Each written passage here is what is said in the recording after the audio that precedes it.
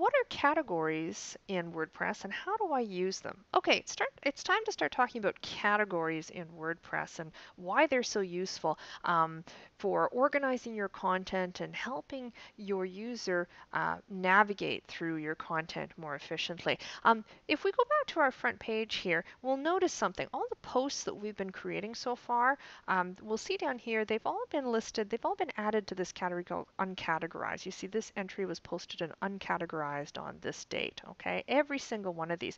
And that's because we haven't actually set up any categories yet. And you may be wondering, well, I don't know that I really need categories. Well, categories are actually more useful than you think. Um, let's have a look at where this is all located, okay? We can see um, down here under posts, okay, if we just click or if we just hover over the post tab over here, we'll see we've been going to all posts and add new. We're familiar with what's behind there, right? All posts is where we get a complete listing of all our posts. Add new is where we would add a new post. Um, but what's this category business right here? Let's go ahead and click on categories and see. Um, categories are a way of classifying the content on your your WordPress site. And you know, the, the categories that you're going to use, you select what categories you want. By default, you just get this thing called uncategorized. Okay, you need to have at least one category on your WordPress site. And uh, um, you get to choose the categories that you use, and this is all going to depend on what type of site you're building. Okay, so the best way to explain this is just to kind of go through some examples for this particular site we're, we're writing right here. Um, let's pretend this is a band site, okay? And if we have a look at the different types of content, the different types of, of posts that we've been writing, um, some things have to do with band news, okay? So check out our band lineup. Here's We Love Paul Federici's new song, Strange Daisies. Okay, so this has to do with other music, okay, music notes, if you will, all right. Um, we've started recording our, our new album, so that, that category could be band news again. Uh, Jane Smith is our new, also more band news. Tour update, maybe this is a touring uh, category. Maybe this is a category all to do with, with updates about touring, okay, and, and so on and so forth. Um, the, the number of categories and the types of categories categories are completely up to you. And you don't have to go crazy and have like billions of different categories. Just a few categories are usually enough. And, and this is something that as your website evolves, um, you'll start to understand how you can make really, really good use of categories. We'll see this in action in a few screencasts when we start building our navigation to our site too. But in the meantime, let's, let's actually start creating a couple categories. I'm going to start by just creating a category here um, called, uh, say, just band news. Okay, so we'll just call this band news. All right. Um, I'm going to leave this. What happens if I just click band news and I just click add new category? I'll do that. And then we'll see here that this ought actually automatically created what's called a slug. Okay, and we'll see the slug in action later on. Don't worry about it for now. Um, we could have created our own right here. This is just an URL-friendly version of that name. In other words, it's it's a name that could be added into uh, the URL up there. Um, we, we don't. All we really need to do is just create a name, give a name to our category, and it shows up right here. We could have added a description let's not worry about that right now. We currently have zero posts in the band news category. Let's go back to our posts over here and let's start using this new category, okay? Let's go ahead and edit this particular, check out our new band lineup. This to me seems like it would fall under the category band news. And here's something that we haven't really been paying a lot of attention to. Down here we see this categories box down here. And by the way, if you don't see that, um, there's a, a thing, there's a tab up here called screen options that lets you turn these different things on and off. Let me actually, let me turn off format and just show you what I mean here. See down here, watch what happens when I toggle this on and off. See the um, categories disappears and reappears as I do that. So if I'm if you're if I'm ever you know, pointing out one of these boxes and you're like, what, where is this box? It's not showing up. Make sure you click on screen options and just have a look at what you have set to, to show on screen because it, it might not be there. Um, all of this stuff can be turned on and off, okay? So I'm just going to click that to disappear, make that disappear again. And right here we see that we, because we created this band news category, suddenly it's here. This wasn't here before. All we had was uncategorized, but we've created this band news category so I can go ahead and select that. Now you can actually have, you can file your your content into different categories if you want. But in this case, I don't think I need to leave this in uncategorized. That would be kind of silly because I do have a category for it. So I've categorized this in band news. I'm going to go ahead and click update. And let's go ahead and reload this over here and let's see what has changed. Okay, not much has changed except now we see this entry was posted in band news. So this is starting to look a little more reasonable, right?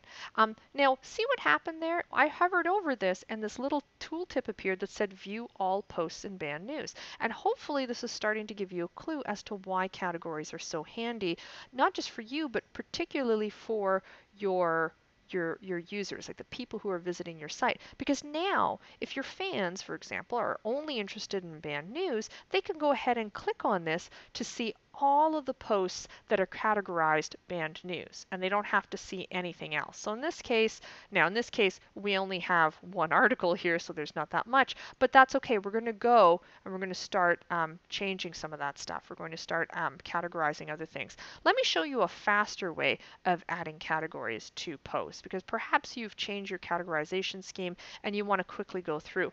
I'm going to show you the quick edit function, okay? So right here under we've started recording our new album, album, um, let's say we want this to be changed. Right now it's uncategorized. We see this under here, but we'd like to change that to band news. We could click edit and go edit that through the edit window, or we could actually use what's called the quick edit view. And by clicking that quick edit view, this allows us to make quick changes to things. We could actually add a title, uh, or edit the title of our of our uh, of our post. Um, we can actually um, do all sorts of things here, but what I'd like to do is I'd like to uncheck uncategorize and just check band news, click update right here, and see how that was actually a lot faster than doing it the other way. So let's go ahead and reload this. And now we'll see an example of, okay, check out our new band lineup. That's posted in band news. This is still posted in uncategorized. This article down here is posted in band news. If I click on here, then we'll see the archives for just band news, and then this shows us only the posts that were categorized under band news. So now we're starting to get a clue as to how useful this can be. Okay, um, let's try something else. I showed you, we created a category here, but what if you wanted to create categories on the fly? This is another thing you can do we can go to, let's say we were editing, let's say we were in the middle of editing this particular post. Oh, and this is telling me, by the way, actually this is a good example. There's an autosave of this post that is more recent than the version below. That's just because um, I was in the process of editing this and then I left it and then I came back and WordPress is going, whoa, whoa, whoa, whoa, whoa, did you want to save those other things? Let's not worry about that actually. Um, but if you ever see that, that's just because somehow you left a preview. You were in the process of editing this, you left it and you came back and now WordPress is a little confused and saying, did you want to change those other things or not or what? You know, were you finished? finished.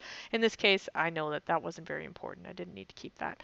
Um, so um, I don't want this to be uncategorized. I don't want it to be in band news. Let's go ahead and add a new cat category and let's let's just create music notes. Let's just call it music notes, okay? Um, and we can click on add new category right here.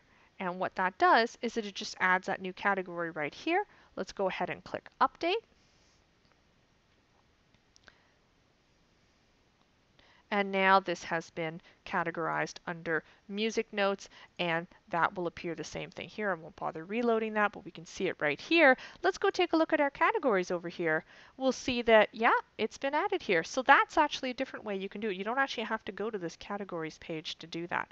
So um, it is definitely worthwhile adding categories to all of your posts, okay, making sure that all your posts are filed into some category other than just uncategorized, okay? And notice that when I when I added that that uh, category, I was actually able to. Um, it, it, asked me if I wanted to add it as a as a grant or as a child category or a parent category, like you know. Um, and you might be wondering, what is this child parent thing? Um, what this means is that categories um, can actually have a hierarchy. Okay, um, and we can see here that when you create a category, whether you do it through this window or whether you do it on the post edit window, um, you can actually select, you could say, you know, um, let's say that we wanted to have a subcategory about, you know, news about Jane. Okay, so news about Jane. Okay? And then it would make sense that that would be the parent category for that would be band news, okay? So there's the there's you've got your parent category is any news regarding the band, and then news about Jane is a subcategory underneath that that only that refers to news that is specifically about Jane. I'm not going to bother adding this category, but hopefully you can see how this could you know how the, how you could use this on your site. Now you don't have to go into detail and create all these different levels of categories and hierarchies. Um, it's just it's there for you to use if you want to. Okay, um, but uh, if you don't want to, that's fine. It's perfectly fine to just have you know maybe half a dozen categories or even less, and they're all just at the same level. The important thing to remember though is that every single post in WordPress um, is filed under one or more categories, okay? Even if it's the uncategorized. If you don't put it in anything, then WordPress just says, hey, it's uncategorized.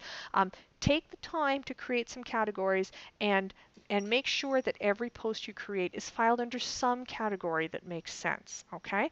Um, remember that categories can be hierarchical in nature, okay, where one category acts as a parent to several children or even grandchildren. You can have several levels, um, but don't feel that you have to use it in that fashion if you don't want to. You could just keep it as you know, plain categories.